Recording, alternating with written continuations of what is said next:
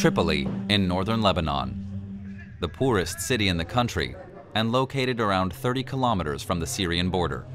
Most of the shops in the center are closed down. A booming business just two years ago, today the gold market district resembles a ghost town. The only customers now are residents looking to cash in their remaining belongings. I came to sell you this ring, and this one too. That's 18 karat gold. This pensioner is parting with her last items of jewelry. They're all she has to ensure her survival. Our situation is terrible.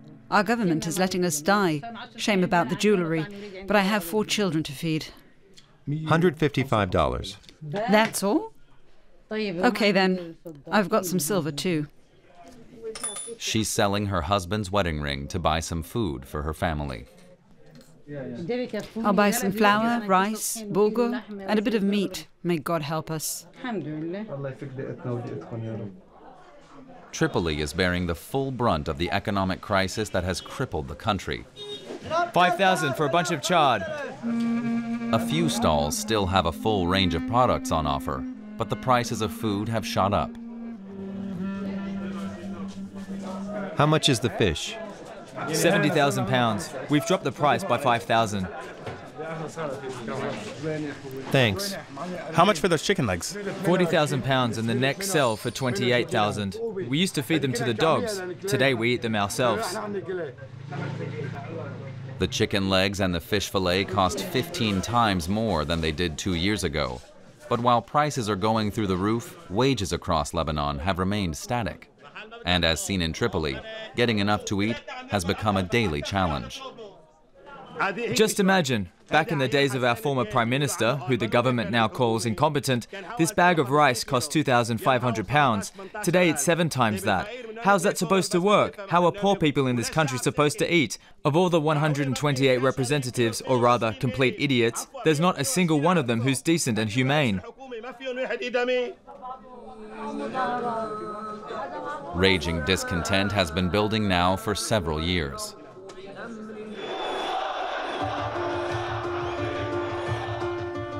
On October 17, 2019, it exploded.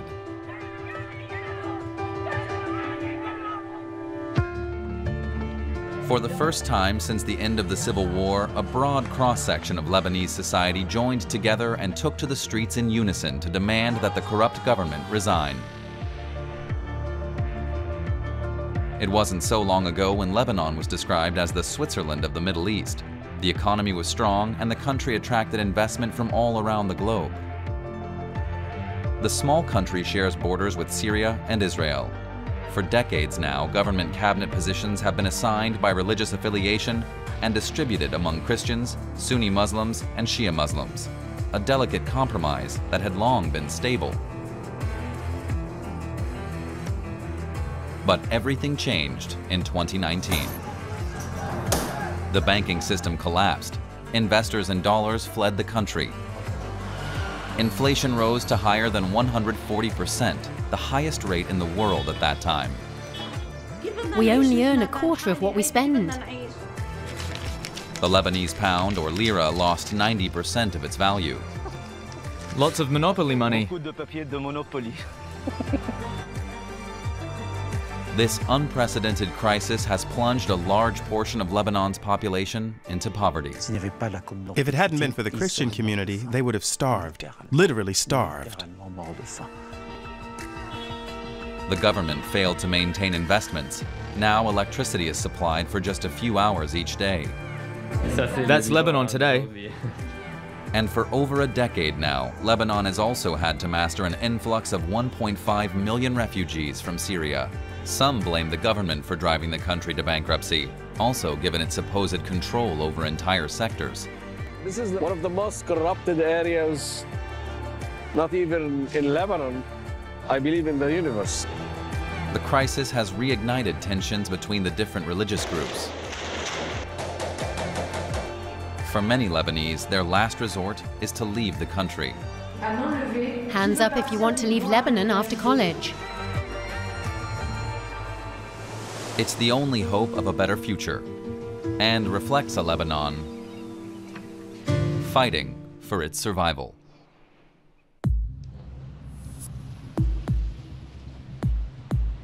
This is Ashrafiyeh, a Christian district of Beirut.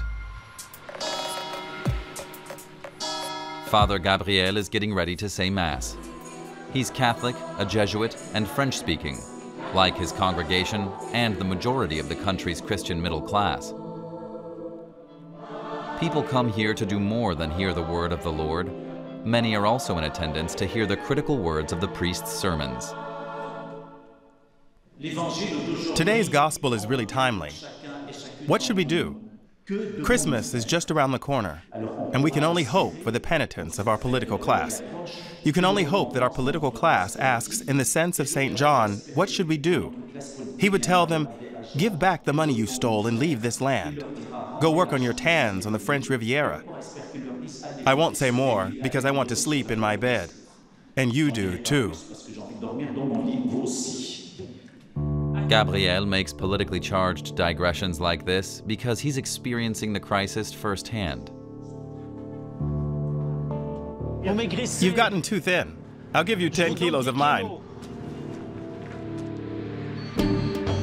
Every week, the priest leaves Beirut and travels to Bekaa, a mountainous region in the eastern part of the country. Just like he does every time he gets in his car, Gabriel checks the fuel gauge.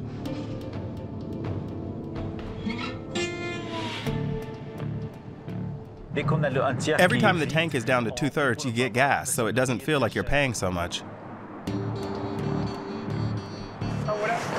Fill her up, please. The price of gas has risen sixfold within one year. How much, my brother? 300,000. Here you go. Thanks. So we're full again. 300,000. That's madness. 20 liters of gas costs half the monthly minimum income in Lebanon, exorbitant prices that severely limit the ability of people to get from A to B. It's amazing. There's hardly any traffic. Imagine the Arc de Triomphe in Paris at rush hour on a Monday with about two thirds fewer cars. That's the way it is here.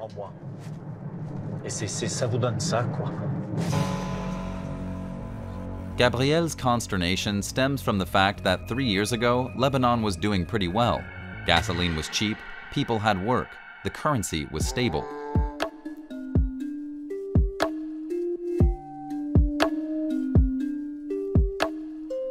Today, it's all falling apart. And members of the country's middle class are among the first to lose out. They've been called the nouveau pauvre, the new poor.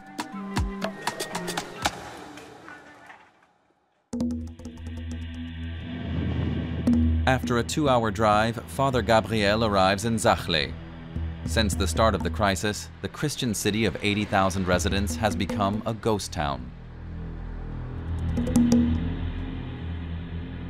There's not a soul to be seen on the traditional shopping street. The elderly and isolated residents are experiencing the worst societal degradation in their history. A local charity group helps the poorest of the poor, Gabriel lends a hand with its members every week. How are you, Father? Fine, thanks. We've got a lot to do today. Our goal is to give hungry people who don't have money something to eat. They're prepared meals. Here are the salads. Here we have desserts. And those are the warm meals. Today, Father Gabriel is working alongside Rachida. Let's go to Jeanette. I've put everything on the table for you. And how about the bills? My brothers help me. Every month they give me a little money. God bless you. My sister. The charity supports more than 200 families. Where can I put this?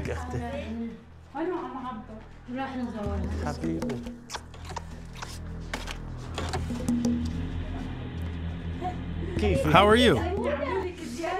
My dear father, thank you for coming. Thank you.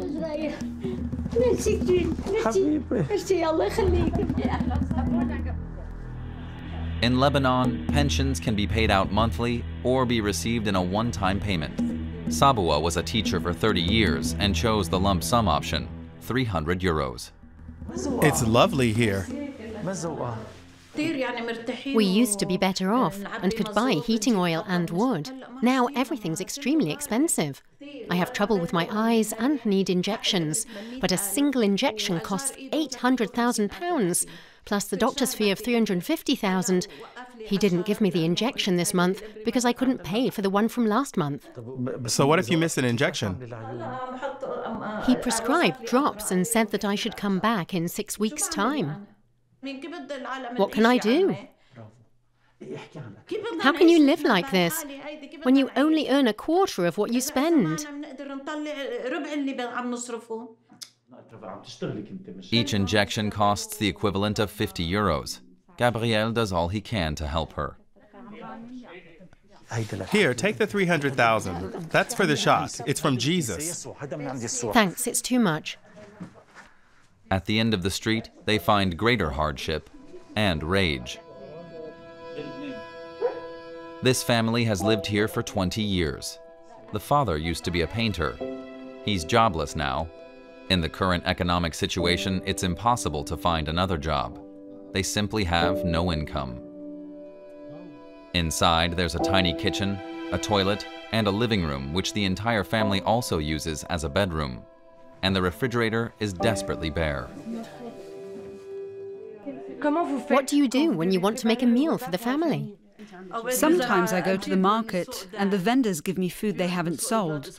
Otherwise, there's still the Johanna restaurant. We can get some food there too. God isn't forgetting us.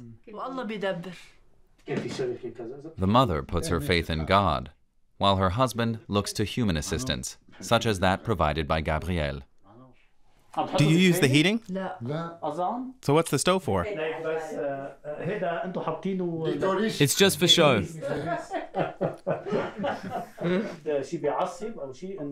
Does it make you mad that the state doesn't take care of you? What can I say? I don't have any work. And I've got five people to feed. Do you hate the state? The state? What state? We'd starve without the help of these charities. If you were working before the crisis, you could pay your electric bill, no trouble. But with the inflation we have today, that's impossible. It's far too expensive. How are you supposed to manage without going out on the street and begging?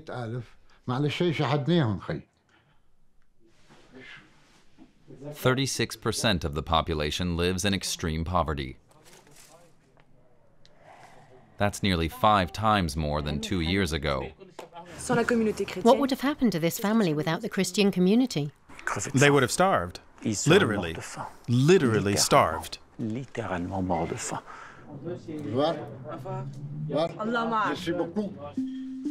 Communities across the country, whether Christian, Muslim, or Druze, are relying on local charity to survive. Nobody saw this kind of brutal economic collapse coming in which for many people, daily life has become a nightmare within just two years.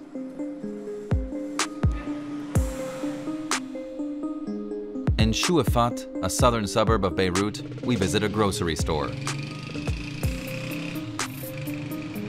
Riad has been running the shop for the last four years. The ongoing crisis in the country has seen him become a master of improvisation.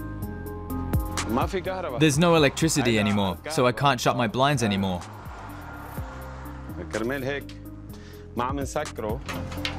Now he has a new morning ritual.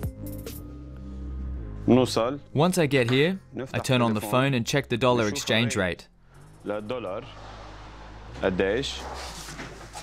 The lira and the dollar have always existed side by side in Lebanon's economy, until 2019, the exchange rate between the two currencies was stable, with $1 equal to 1,500 pounds. The exchange rate changes daily. On this morning, a dollar was worth 21,000 pounds, almost 15 times more than two years ago. The dollar rate keeps rising, so supplier prices are rising too. I have to continually adjust my prices. Can you give me the calculator? Okay. That's Dimex 1.2 liters. Today it costs 16,800 pounds. Put 18% onto that, and okay, price it at 19,824 pounds.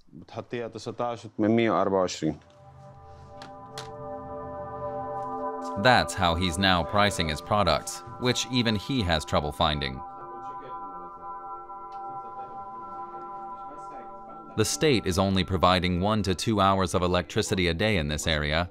To keep frozen foods from spoiling, Riad has had to make further adjustments. I can't be selling products that make people sick, so I decided to only keep using one freezer and unplug the rest. I've also had to reduce my selection. As if by magic, the electricity comes back on at noon. Oh, The staff can get back to work as normal. Eggs, potatoes, and that's all? For more than a year now, Riad hasn't earned a proper profit at his shop. Some months he doesn't even break even.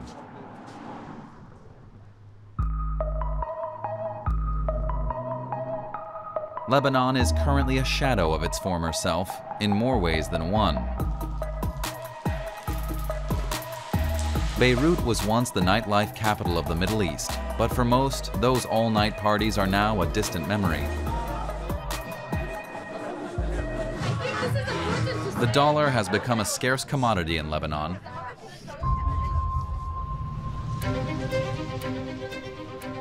A series of foreign investors left the country in 2019 due to dwindling confidence in the Lebanese government. Their departure sparked the nation's financial collapse the lira lost almost 90% of its value.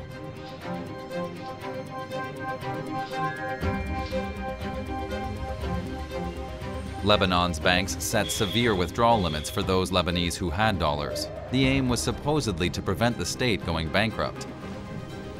Rebecca hasn't had any access to some of her bank accounts since 2019. So here it says card limit exceeded, so I cannot withdraw anymore as if I exceeded the limit, but I haven't withdrawn any US dollars in more than one year. This is so, yeah, it's crazy. She does have more than $10,000 on this account, but in light of the situation in Lebanon, it's impossible to say if that money still exists. How many cards do you have? Uh, three. One fresh, one not fresh US dollar, and one Lebanese uh, lira. What do you call fresh dollars? Fresh dollars is all the dollars that were transferred from outside after 2019. The other dollar is the one that's stuck in the bank. This is everything that you have dollars before 2019. You cannot withdraw any of it. Any? Any of it. You just see it and you cannot withdraw. So only fresh you can withdraw. These fresh dollars are akin to the holy grail for those who have access to them. They come from outside the country and are now worth a fortune when exchanged against the devalued local currency. They've led to the development of a new privileged social class. Our next stop is a beach resort near Batroun, an hour's drive north of Beirut. Here there are a number of people who have been left unscathed by the crisis. The big supermarket chains are still crowded.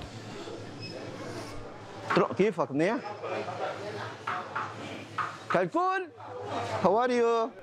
Joseph, now in his early 40s, moved here four years ago. This is my village. Do you come here often? Sure. About three or four times a week.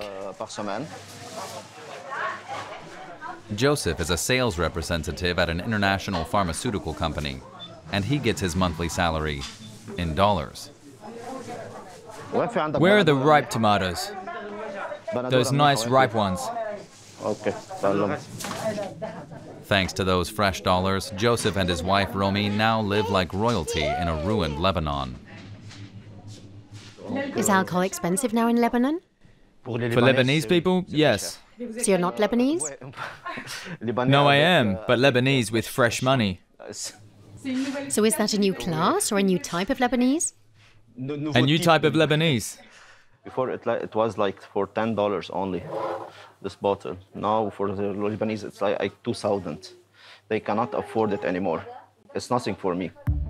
Two thousand lira, Joseph's monthly salary is $3,000 or 60 million Lebanese pounds. Have you become rich? Yes, I've gotten rich.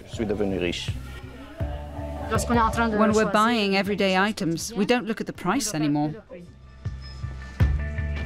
Romy is a primary school teacher. She's paid in Lebanese pounds. Without Joseph's dollars, she wouldn't manage to get by. Now, the couple have no reason to worry when they approach the checkout. Their bill today, £685,000. That's equivalent to $30, about equal to the minimum monthly wage in Lebanon, a minimum wage that has plummeted by a factor of 15 in two years. It's now lower than the minimum income in Afghanistan. Joseph and his wife have built a house in this residential area in the hills above Batroun. They started the undertaking in 2017 when they took out a 20-year mortgage for 50 million Lebanese pounds. But with the local currency collapsing, their 150 square meter house cost them only about $2,500. It was a sum they paid back in two months.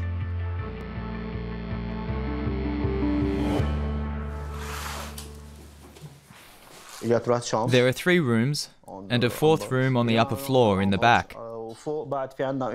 We're only using it as a storage room right now. We have three floors. This Sunday, they've invited friends to lunch. Joseph receives his guests with a meal fit for royalty.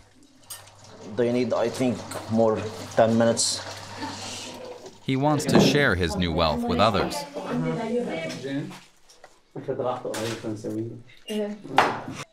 Rami is a public servant, for example. Each month, he's paid in Lebanese pounds. So for this friend of the couple, buying a $6 bottle of wine was a huge expense. I get paid about 80 or $85 a month. That's enough to fill the car twice with gas. Before, I earned about $1,200. Now, about $80. The difference is enormous. Despite the inflation in Lebanon, wages have never been adjusted. As the friends make a toast, Joseph adds, hang in there. Only about 13% of the Lebanese population are paid in dollars. Everyone else is paying a hefty bill for this crisis. The absurdity of the situation has driven some to campaign for a fairer economy. Rebecca has an appointment with her lawyer.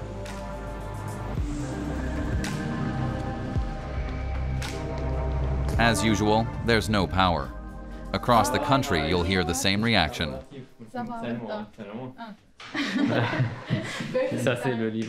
That's Lebanon today.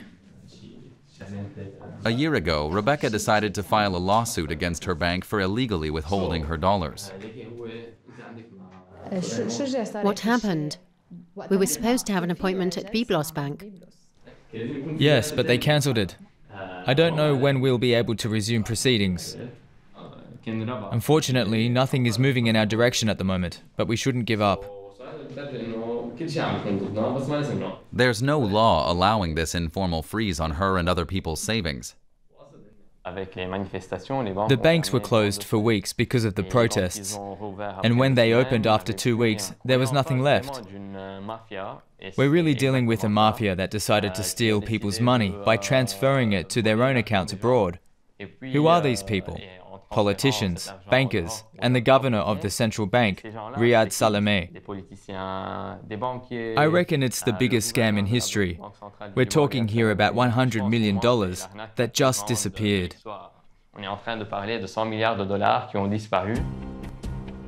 A political and business elite is being blamed for impoverishing the country to benefit their private interests. In 2019, a French broadcaster asked the governor of the central bank, Riad Salameh, about the money that had been wired abroad. In Lebanon, we're free to transfer money. But we're examining events from an ethical standpoint to see if politically exposed persons who transferred money abroad use their positions in a way that might constitute an abuse of power.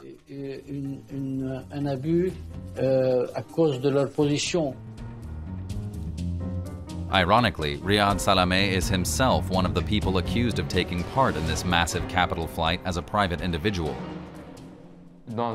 He and his brother have around $300 million on one of their bank accounts in Switzerland. Is that consistent with his bank salary? Certainly not. The Lebanese banking sector is said to have been functioning for decades like a Ponzi or pyramid scheme, a fraudulent financial scam that promises very attractive interest. In order to pay the latter, the banks use the money they get from new customers. But when that source of money dries up, the pyramid collapses. When the first investors fled Lebanon, the entire country ended up paying the price. There are people like Rebecca's parents who worked their whole lives long and thought, we've saved money for our retirement or to allow our children to study abroad. And now they're left with nothing. The whole thing is the bank heist of the century. In 2016, a study showed that 90% of the majority shareholders in Lebanese banks were relatives of politicians. Nepotism of this kind has already had devastating consequences. Oh my God!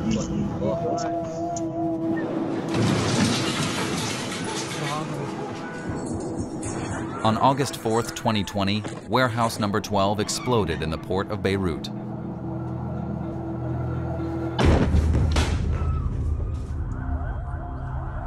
Its contents 2,750 tons of ammonium nitrate, a highly flammable and explosive fertilizer, stored unattended. The horrific accident destroyed entire districts of the capital within a radius of several kilometers. In total, it left 218 people dead and more than 6,500 injured. To the surprise of some, after the disaster, the president of Lebanon appealed to the resilience of the Lebanese people rather than focusing on an emergency plan. Ladies and gentlemen, today Beirut is trying to raise itself from the ruins. With the efforts of every single Lebanese and with their support, the city's wounds will heal and it will rise again, just as it has always done in its history.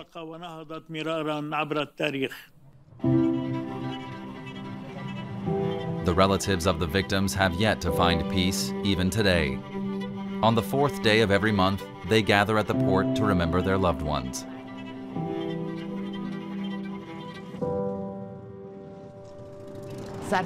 Today is my Jessica's birthday. Do you know what it's like when a mother cannot celebrate her daughter's birthday?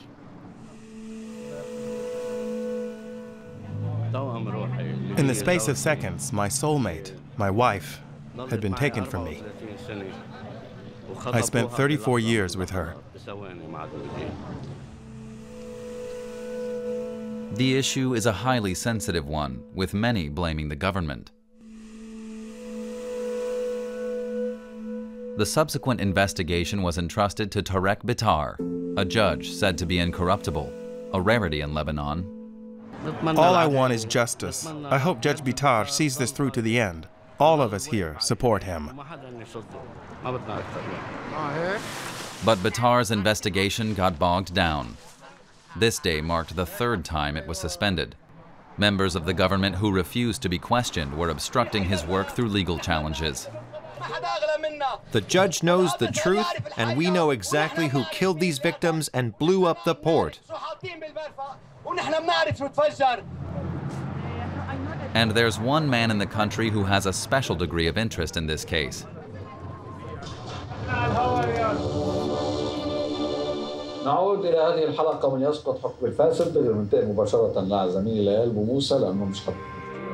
Riad Kobeissi Riad is an investigative journalist who is relentlessly trying to get to the bottom of the country's corruption. Every morning, his drive to work takes him past the port.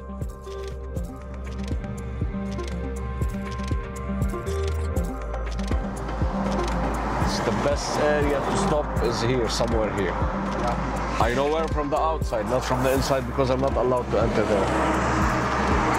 Yeah. According to Kobeissi several members of the government knew for years about the ammonium nitrate being stored at the port. This is one of the most corrupted areas, not even in Lebanon, I believe in the universe. It's like the black hole of corruption. To such an extent, this place is kind of like of a microcosm of Lebanon. Is operated by mafia men, appointed by mafias, elected via democratic process. You cannot be appointed there. It's not only that you have to be affiliated with a certain party. More than that, some people, actually not some people, the, most of them paid a lot of money in order to be appointed here. For example, when it comes for the custom controller, with our calculations, he used to be paid like uh, $2,000 per day. Per day. Per day. And if, if, he, if he got only $2,000 per day, he will be pissed. According to official statistics, the port earns about 200 million US dollars in income annually. Kobeissi says that without the corruption, that figure would be close to 25 billion. The journalist takes risks as he takes on the powerful. After one of his investigations, he was physically attacked a few years ago by a port official. Since then, he's been taking precautions.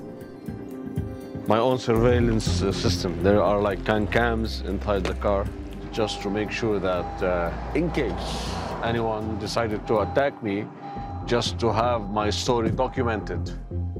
His wife is a presenter with the same broadcaster. Hi. Are you proud of his work? Yes, but sometimes he gives me headaches. Why? Because it's dangerous. I'm afraid something bad will happen. She's scared for you. Yeah, I mean. I'm telling him uh, every every time I'm telling him this, but uh, il s'en fout. You're not gonna change your work? I told you, I tried to act like a gazelle. It didn't work. Why? I'm a bear.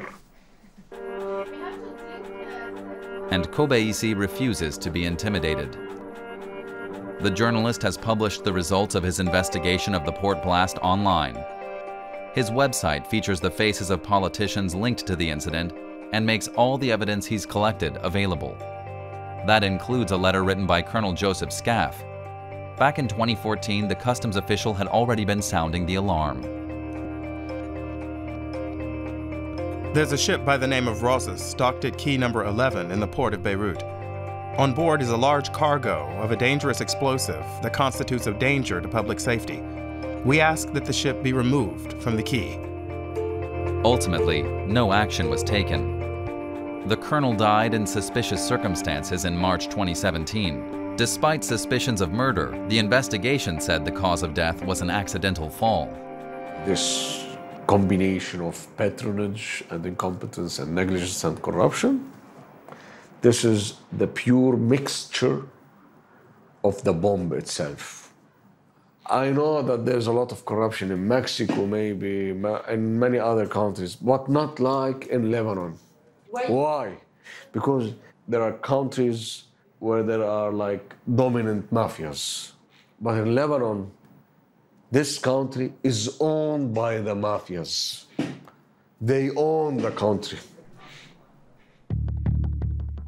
a country drifting rudderless. And to make matters worse, it's hungry. In this situation, just the tiniest spark could cause tensions to escalate and explode. Which is what happened in October 2021.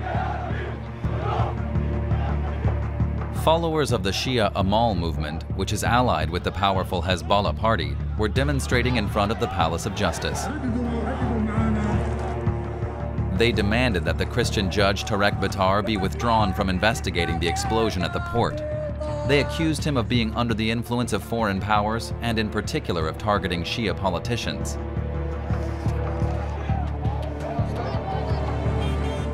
Sectarianism, the plague of Lebanon, was back. Late in the afternoon, heavily armed demonstrators went to the entrance of the Christian quarter in Beirut. Within seconds, the situation took a dramatic turn as the demonstrators came under fire.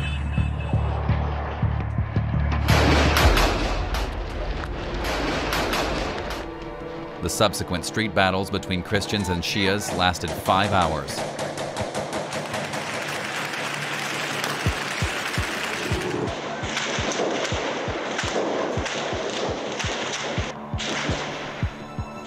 Seven people were killed, all of them Shia.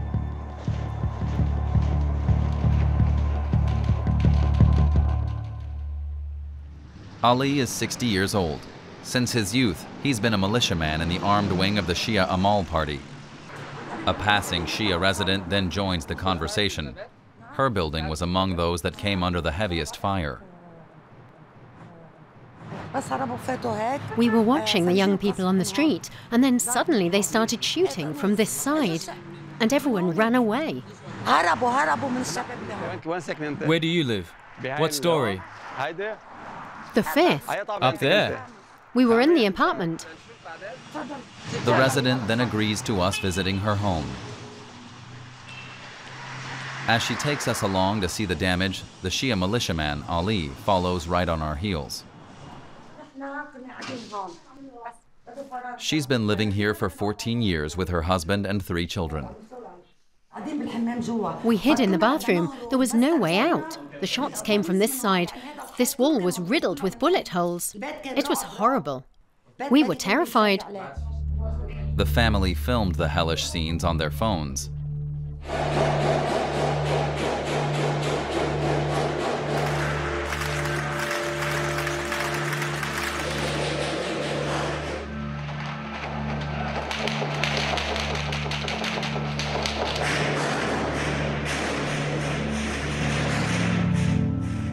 Her youngest son, Abbas, is 13. He's still in shock. We put this up as a barricade to protect ourselves if they came with a rocket launcher. There were four of us here. Were you afraid of the rocket launchers? Yes, they had rocket launchers, M14s, M16s, and a few grenades. I was here. My neighbor was here. My father here.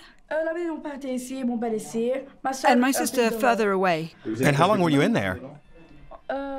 At least two and a half hours. Two and a half hours? Yes. Were you scared? A bit, not much. The whole family was evacuated after what seemed like an eternity. Are you afraid it will start again? Yes, of course. I live with the stress. It reminded me of the Civil War. I thought, here it goes again. The family does not want to see the different religious communities at war with each other. Their children go to a Christian school. And alongside the Quran, they even have an image of the patron saint of Christians in Lebanon. Our neighbors are Christians, Muslims, all religions. We're one. That's not the problem. At the same time, it almost seems as if Ali is getting ready for a possible return of civil war. All of Lebanon is armed. There are weapons everywhere. In the 1990s, all the militia had to surrender their arms to the government. The Amal group did it too. But when they began to provoke us again, we went out and got some other guns. As a militiaman, I'm not afraid. I'm ready to go to war for my party. I don't agree with what he's saying. It's an absurd war. It's not in the interests of anyone in Lebanon to live like that. We want to live in peace and raise our children in peace. It's nonsense that every citizen should be armed. The ghost of bloody sectarianism returned to haunt Lebanon on that fateful day, even if a majority of people in the country are trying to exorcise this specter. One million Lebanese have already left this broken land. Public services in all areas have come to a standstill. The government allowed health services to fall into disrepair. As it did public construction projects and the power grid. Tired of promises of a better life that will never be realized, some are ready to risk their lives to flee the country. Among them is Mohammed, who lives in Tripoli. Go. Get out of the kitchen. The 35 year old former tour guide lives with his entire family in this two room apartment, with his mother, his sisters, and his four children. In October 2021, he and his son Hossam tried to enter Europe illegally via the sea. The plan was to have the rest of the family follow after they got there, but the trip was a short one. There were 82 of us, and we'd bought a big boat. Our plan was to go to Italy, and from there, each of us would find their own way through Europe. But fate had different plans. We lost everything. The Turkish Coast Guard arrested us. And when did we meet again? In jail. You were in jail? Yes. Uh. And how old were you then? Seven. There were 16 people to a cell in jail. It was tough. Just imagine it. My son was sleeping with me on a bench, surrounded by Daesh terrorists. Mohammed and his son were arrested during the crossing to Europe and spent 29 days in jail before being sent back to Lebanon.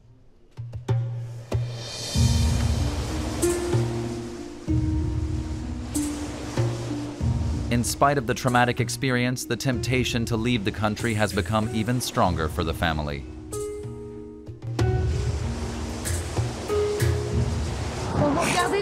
When you look at the sea, what do you think of? I think about a day when the weather is good and we can set off again. And that's your dream? I just want to leave this country with my children. So you'll set off again? Yes. And why? Because people die here every day.